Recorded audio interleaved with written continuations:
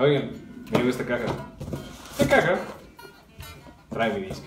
Es un buen disco. Escuchen mi disco. Compren mi disco. Sale el 31 de octubre Halloween en Spotify, Apple Music y demás. Pero antes de que eso suceda, pueden comprarlo conmigo. Hey, gracias.